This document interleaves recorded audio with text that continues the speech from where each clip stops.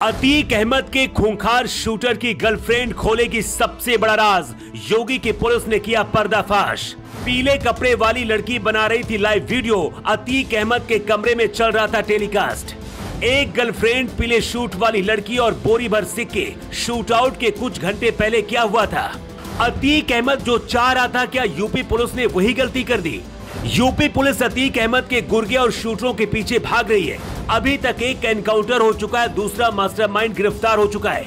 योगी के बुलडोजर भी चल रहे हैं, लेकिन अभी तक यूपी पुलिस पीले कपड़े वाली इस लड़की तक नहीं पहुँच पाई है। चार बच्चों वाली एक गर्लफ्रेंड और पीले रंग वाली लड़की की साजिश ने यूपी पुलिस का दिमाग खराब कर दिया है। अतीक अहमद के शार्प शूटर जिस वक्त शूट आउट कर रहे थे, पीले रंग वाली ये लड़की बिना किसी खौफ के अपने कैमरे में लाइव तस्वीरें कैद कर रही थी। जहाँ जहाँ पर क्राइम सीन हुआ, वहाँ पर ये लड़की दिखती रही। इसके बाद भी लड़की कई बार दिखी, लेकिन पुलिस की पकड़ में नहीं आई। दावा किया जा रहा है कि जिस वक्त उमेश पाल का शूट आउट प्रयागराज में हो रहा था, इस लड़की ने लाइव स्ट्रीमिंग के ज़रिए गुजरात में बैठे अतीक अहमद तक पूरा लाइव शूट आउट दिखा रही थी। उमेश पाल शूट आउट में शामिल सदाकत को मुस्लिम छात्रावास से गिरफ़्तार किया गया। सदाकत को सरगना बताया जा रहा है जिसने पूरी प्लानिंग को अंजाम दिया और हथियार से लेकर गोला बारूद और जगह का मुआयना किया था।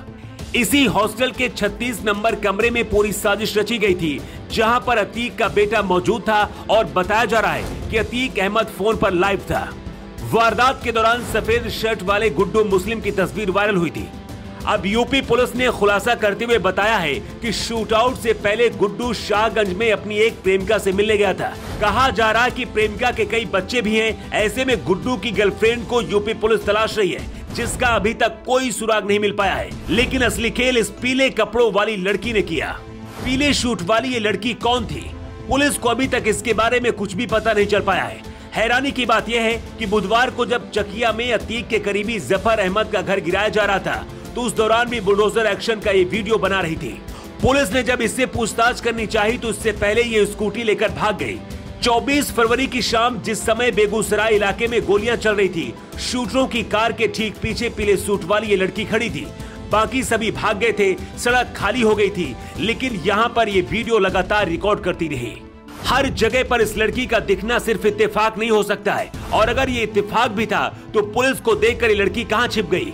दावा किया जा रहा कि शूट आउट से लेकर हर तस्वीर ये लड़की एक खास ऐप के ज़रिए अतीक अहमद और उसके भाई अशरफ को दिखाती है।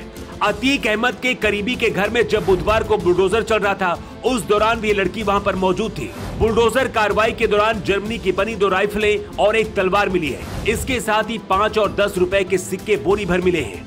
अतीक अहमद को पहले से पता था कि वो जो करने जा रहा है, उसके बाद उसे योगी नहीं छोड़ेंगे। फिर ऐसी वारदात को अंजाम क्यों दिया गया? कहीं ऐसा तो नहीं कि अतीक अहमद ने जो प्लानिंग की थी यूपी पुलिस ठीक वैसा ही कर रही है। छोटे छोटे गुर्गों का एनकाउंटर करने और पकड़ने में यूपी पुलिस उलझी हुई है, लेकिन प्लानिंग कुछ और है, जिसे न योगी समझ पाए और न ही यूपी पुलिस। सवाल ये भी है कि आखिर यूपी पुलिस इस पीले कपड़े वाली लड़की को अब तक क्यों नहीं पकड़ पाई है? कहीं ऐसा तो नहीं कि लड़कियों को मोहरा बनाकर इस बार अतीक अहमद ने कोई बड़ी प्लानिंग कर डाली है। वैसे आपकी क्या राय है? कमेंट बॉक्स पर लिखकर बता सकते हैं। योगी के लिए रिपोर्ट।